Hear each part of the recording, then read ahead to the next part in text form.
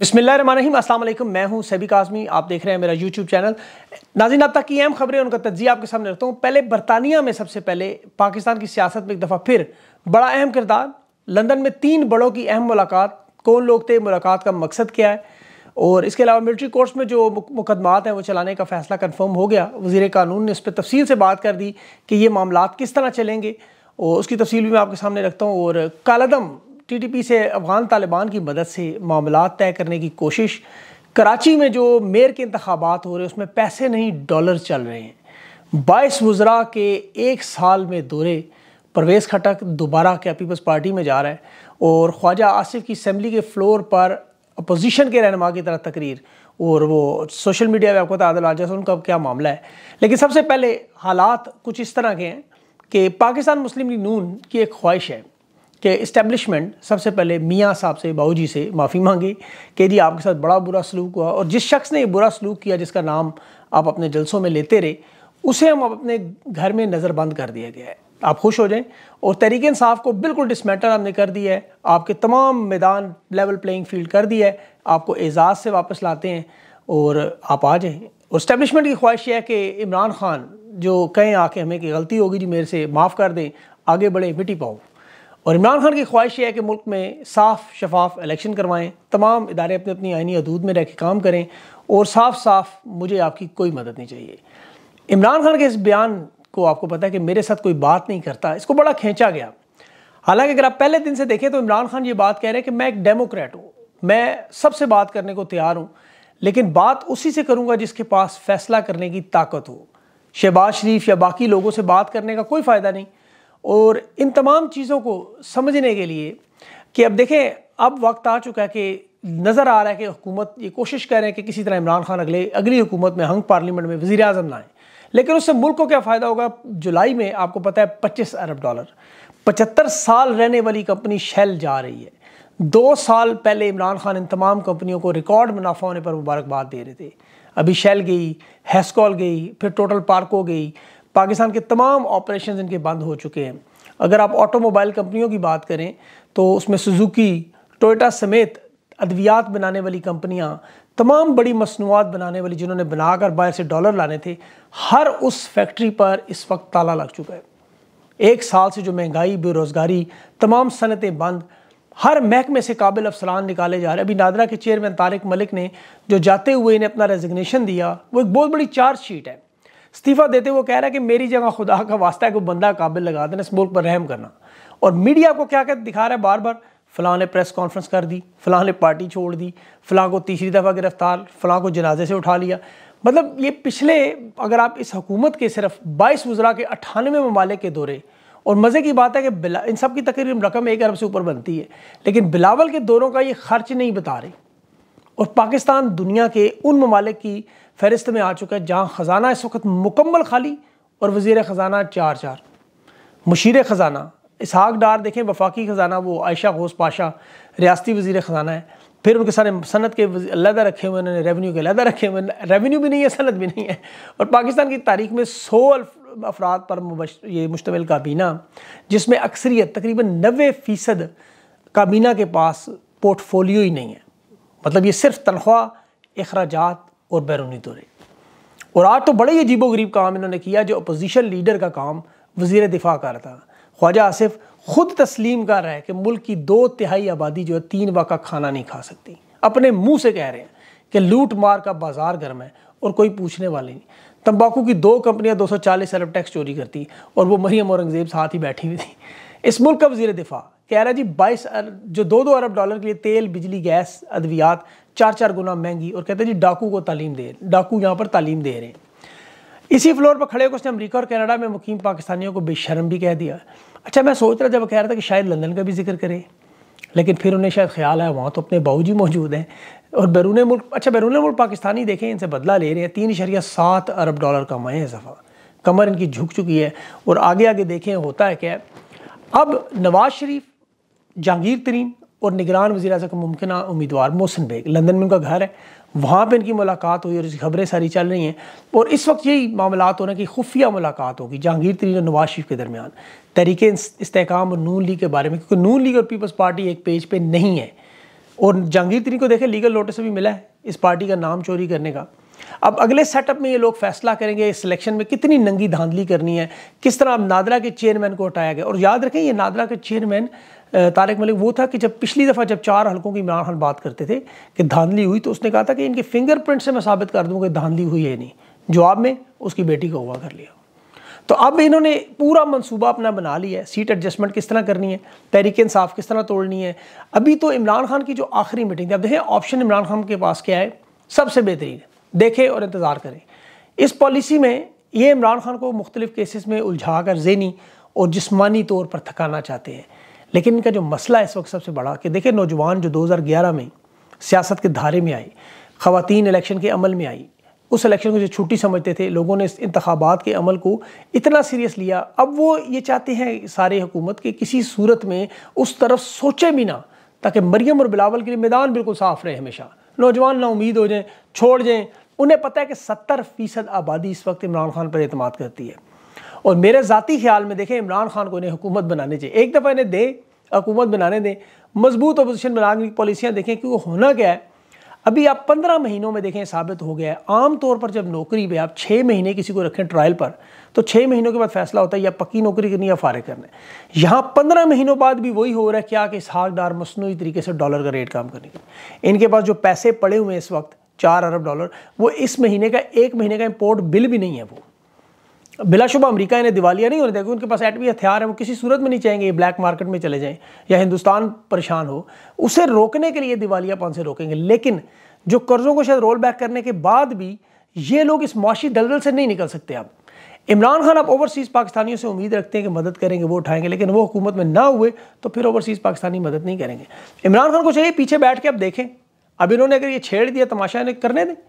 ज़्यादा से ज़्यादा अठारह महीने, ज़्यादा से ज़्यादा मैं बता रहा हूँ आपको, ये अपनी मौत खुद मार जाएँगे सियासी। और उसमें पाकिस्तान का बिलाशुबा नुकसान होगा, लेकिन चूँकि अब ये सियासी लड़ाई जो एक मैराथन में बदल चुकी है तो इमरान खान को अब इसको टेस्ट मैच बना लेना चाहिए, विकेट पे स्टे करें, अपनी विकेट सेव करें और इस इस मैच को सब्र तहमल से अगली इनिंग्स तक लेके जाएँ। ये अपनी गलतियों से खुद आउट होंगे आपको सिर्फ़ वहाँ बार बार बॉल उधर ही डालनी पड़ेगी। कराची के इंतबात देख लें, यहाँ से आपको इलेक्शन का अंदाज़ा हो जाएगा। जो आने वाला इलेक्शन करवाएँगे कि मेयर के इलेक्शन में अगवा भी किया गया, जिस तरह जुल्कार अली भुट्टो करता रहा, लोगों को गायब भी किया जा रहा, लोगों को क्रैकडाउन भी किया जा रहा, और इस वक्त कराची में सबसे बड़ी मंडी भी आसिफ अली जरदारी लगा चुका है, क्योंकि बकरा तो वैसे ही आ रही है, और पाकिस्तानी रुपयों में डील नहीं होगी, अब डॉलरों में पेमेंट क्योंकि मुल्क में पैसे नहीं हैं, लेकिन इनके पास चीनी चोरी और लैंड माफिया से इकट्ठा किया हुआ बहुत पैसा है, और एक तरफ़ तो देखिए फस्ताइत की इंतहा भी हो चुकी है साथ साथ वज़ीर कानून कह रहा है जी कि जो अब अदालतें हम बनाने जा रहे हैं, उसमें मुकदमात होंगे बैन अवी माहों के तहत। मुलम को फेयर ट्रायल का हक भी मिलेगा, अपनी मर्ज़ी से वकील भी करें, दिफा का हक भी करें, फैसलों के खिलाफ अला अदालत में भी जाएँ। यहाँ वो कहना भूल गए, लेकिन फ़ैसला हम खुद ही करेंगे। एक तरफ़ तो वो लाखों पाकिस्तानियों के दुश्मन कालादम तंजीम से बातचीत हो रही है। अभी अफ़गान खबर, वो जो खबर एजेंसी है वो बात कर रही है कि टी टी पी के जो अरकान हैं, शुमाली अफ़गानिस्तान में उन्हें मुंतकिल किया जा रहा है। आपको इलाका पता है डेवरन लाइन के उस तरफ़। तो पाकिस्तान के साथ मामला यही तय कर रहे हैं इस वक्त कि जितनी भी जो पाकिस्तान के ख़िलाफ़ अब कार्रवाइयाँ वो नहीं होंगी। अच्छी बात है, पाकिस्तानी महफूज रहे, उनसे अल्लाह करे। साथ वो जबीला के, जबीला मुजाहिद जो उनका वो स्पोक्स पर्सन है, उसका होस्ट या कन्नड़ वाली साइड से वो कह रहे हैं कि डेवरन लाइन के जो वहाँ का इलाका है, शुमाली अफ़गानिस्तान, वहाँ उन्हें बाकायदा ज़मीन भी दी जाएगी और ज़रूरी आलात और आबादकारी का जो सामान है, उसके पैसे पाकिस्तान देगा। मुझे तो ये एक तरफ़ हालात ही हैं और दूसरी तरफ़ देखिए, हमारे पड़ोस पे मैं हिंदुस्तान की खबरें देख के, अमेरिका के साथ उनकी फ़ौजी तजारत की जो डील है, वो 25 अरब डॉलर की। और जो कश्मीर में वो लगा रहे हैं पैसा, मकबूजा कश्मीर में वो अलग, उनके पास 700 अरब डॉलर से माल ऊपर चला गया। वजह सिर्फ़ और सिर्फ़ एक वहाँ पर जमहूरियत का है। हमारे साथ है बिल्कुल। अल्लाह करे इन्हें भी अकल आ जाए। अच्छा आदिल साहब, वापस आ गए जी, उनकी देखें, सोशल मीडिया पर खबरें बहुत सारी चल रही हैं। और इस पर उनकी एक ट्वीट भी आ गई सामने। कि वो अब किसी किस्म के तशद की बात नहीं होगी, बल्कि सियासी और मुआशी इसकाम की बात करेंगे। अच्छा आपको पता है open source intelligence O S N I T जो है उनका दावा है, उसकी एक ट्वीट भी आई इस लड़के की कि ये जो चैनल बंद हुआ, ये पाकिस्तान की तरफ़ से नहीं, बरतानिया की तरफ़ से हुआ, और इनका जो लैपटॉप है और मोबाइल है, वो भी शायद लंदन पुलिस के पास पड़ा है, और उस पर तफ्तीश जारी है। ये ओपन सोर्स इंटेलिजेंस आपको पता है, ये सारे जो है, ये इनका ये भी दावा है कि इन्होंने बरतानिया छोड़ने की कोशिश भी की।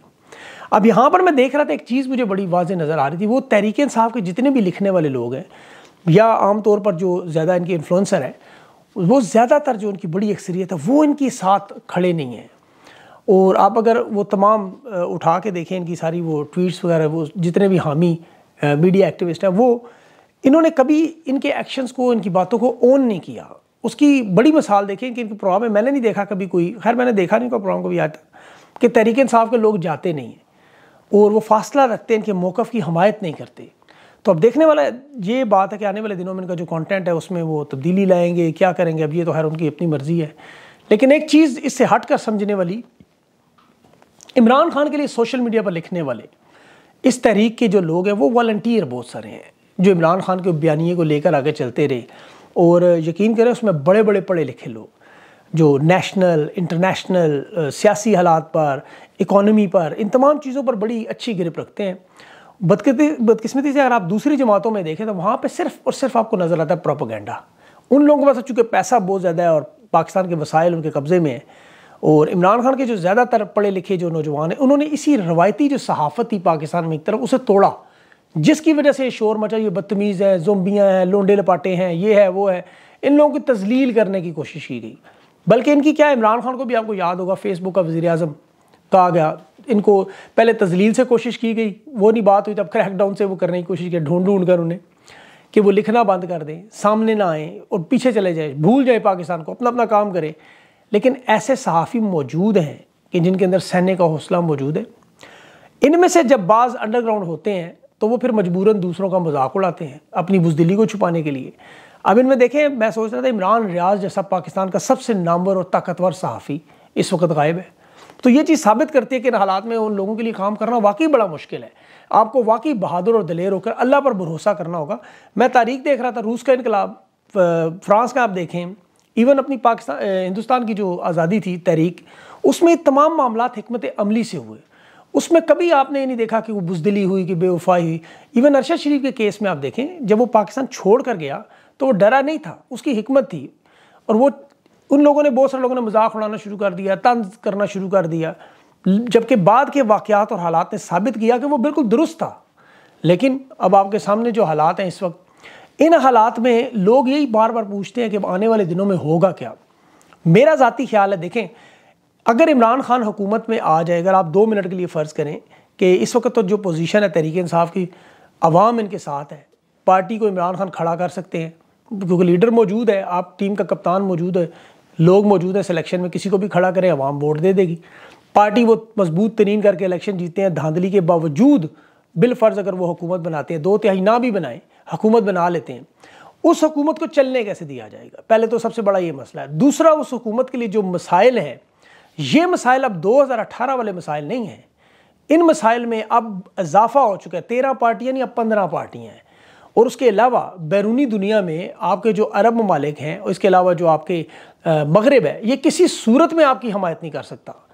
इस सूरत हाल में इस मुआशी दलदल से निकालने के लिए ओवरसीज़ पाकिस्तानियों पर रिलाई करना और इस सूरत हाल में कि जब उनके कारोबार या वो खुद मुश्किल में पाकिस्तान आके फंसने के चक्कर में हों, जिस तरह आपको पता है क्रैकडाउन उनके पे करने की कोशिश की जाती है तो इस सूरत हाल में अगर वो पैसे दें भी तो वो पैसे इन्वेस्ट करना, फिर उनको आगे चलाना, मेरे ख्याल में इमरान खान के लिए भी मुआशी मसाइल को हल करना इतनी जल्दी मुमकिन नहीं होगा। तो सूरत हाल वही हो जाएगी जो आपको याद होगा 2018 के बाद एक टाइम आया था कि लोग थोड़े बहुत इमरान खान की पॉपुलैरिटी पे भी क्वेश्चन मार्क थे कि यार ये काम क्यों नहीं हो रहा? क्योंकि सबको ये उम्मीद थी कि शायद इमरान खान को जादू की छड़ी घुमाएँगे और पूरा मुल्क एकदम से तरक्की करके हिंदुस्तान के मुकाबले में आ जाएगा। लेकिन आपको पता है, अब तो ख़ास तौर पर हम जिस तरह लोड शेडिंग और ये तमाम कंपनियाँ जा रही हैं, अब तो हम बिल्कुल पत्थर के दौर की तरफ़ जा रहे हैं। वहाँ से उसको उठाना और निकालना एक बहुत ही बड़ा चैलेंज है, बहुत बड़ा चैलेंज और ये हुकूमत हो या कोई हुकूमत हो, मेरे ख्याल में इसको बड़ा वक्त लगेगा. मुआशी मसाइल बहुत गहरे हैं डीप बहुत गहरे तो इनको दूर करने के लिए एक एक एक लॉन्ग टर्म कम अज़ कम दस साल की पॉलिसी चाहिए. और इस सूरत हाल में इमरान खान जो वेट एंड सी की पॉलिसी कर रहे हैं, वो बिल्कुल दुरुस्त है. पार्टी का स्ट्रक्चर इन्होंने तोड़ा है, लेकिन ज़ाहिर है अवाम इनके साथ है, लोगों को अब जो शूर आ चुके हैं, उनको ये पता है कि अब वोट किसको देना है। बाकी ज़बरदस्ती की उम्र में आप बिलावल को बैठा दें, ऊपर ला अब वजी खारजा भी तो है, उसमें मुल्क तरक्की नहीं करेगा। और अफसोस की बात सिर्फ़ और सिर्फ़ इसमें यह है कि पाकिस्तान की आवाम पे इसका प्रेशर आएगा। लेकिन आपको पता है, हालात जैसे भी हो, जिस हाल में जीना है, उस हाल में मुश्किल जिस हाल में जीना लाजिम है, उस हाल माजर के साथ, जिस हाल में जीना मुश्किल है, उस हाल में जीना लाजिम है।